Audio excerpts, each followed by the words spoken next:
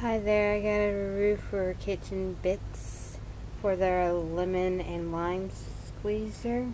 And this is what it is. And this is what the box looks like. And what it came in.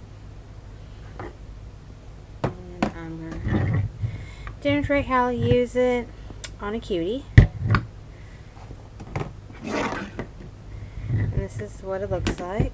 Open it up.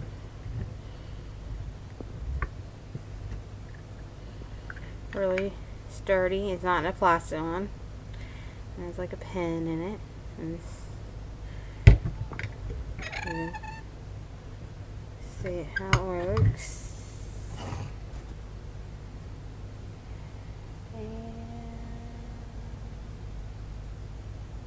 It's non-slip on it. On the handle. And it is a really great tool to use to get your juices you need.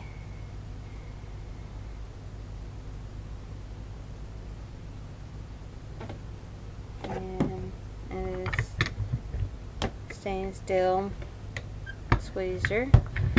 And I'm going to show you how to use it. Here's my cut of lemon and then you squeeze it. I'm to squeeze it in my bow. This is what it looks like again.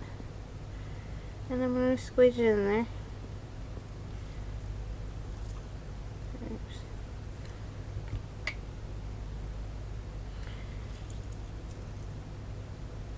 And then I'm going to open it up and show you.